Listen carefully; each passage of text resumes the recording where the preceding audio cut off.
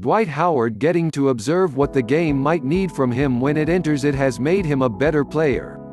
He seems to really be reveling in his new role for the Lakers. Heading into the season, Dwight Howard was one of the biggest question marks on any NBA team's roster. Since then, he's proven himself to be a weapon not just on the court but also a net positive off of it. One huge reason for his positive impact, his understanding and welcoming of the role Frank Vogel and the Lakers organization slotted him into. Howard was asked recently during a taping of Spectrum Sportsnet's Backstage Lakers about his role, and detailed what he likes about it and how it's made him a better player. I enjoy coming off the bench, I get the opportunity to see the schemes that the other team is doing and where I'm needed on the floor, whether that be up on the pick and rolls, if I need my energy to be up, if I need to come in the game and get a couple blocks. I'm reading the defense, I'm reading the offense and I'm just seeing where I can be of service to my teammates. It's a very different role for me but I really do enjoy it. I just want to be the person who can see everything on the court before I even get on. So, in theory, this all makes a ton of sense.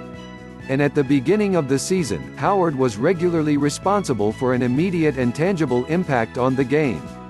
He was especially notable on the defensive end, where he and Anthony Davis were absolutely suffocating. Lately, however, Howard and the rest of the team have slipped noticeably. Over the last 10 games, the Lakers have been giving up 111 points per 100 possession while Howard has been on the court and he's been committing 7.5 fouls per 36 minutes. This is a far cry from how impressive he was at the beginning of the year. Now, some of this has to do with Avery Bradley getting hurt and the less defensively stout Rajon Rondo and Kyle Kuzma returning to the rotation. With Bradley on the court, Howard had fewer mistakes to clean up. Both Kuzma and Rondo are susceptible to mistakes on the defensive end that puts Howard in situations where he has no other option but to foul. That said, Howard has himself to blame, too. All too often, he commits silly fouls all over the court that don't really serve a purpose. It's one thing to commit an illegal screen trying to gain an edge that helps free a teammate, or to get caught being a little too physical for offensive board that could create a new possession. But reaching fouls on the perimeter committed on bigs he's guarding just get opponents into the bonus at an increased rate. Howard was always going to regress from how incredibly he was playing, and it's altogether possible that once the Lakers' full rotation is healthy once again, he progresses closer to the end of the spectrum he started the season at. And to be clear, his positive presence in the locker room cannot be overlooked, especially, somehow, as it pertains to Kentavious Caldwell Pope.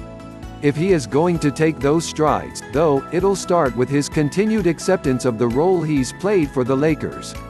That was the starting point of how he was successful at first, and based on his quote, it doesn't sound like he's soured on coming off the bench at all, so this remains a potential starting point to returning to that solid play.